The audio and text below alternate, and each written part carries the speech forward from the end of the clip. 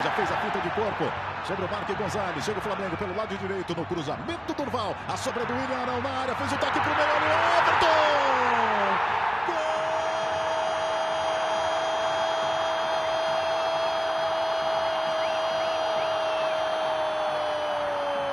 Flamengo! Everton!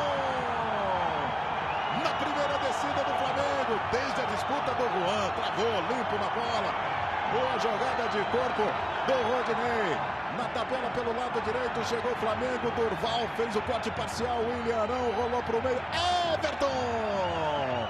Se esticou todo no contrapé do Magrão. Flamengo faz 1 a 0 no Raulino de Oliveira na microcâmera, por dentro do gol. O Brasileirão tem rede balançando com Everton.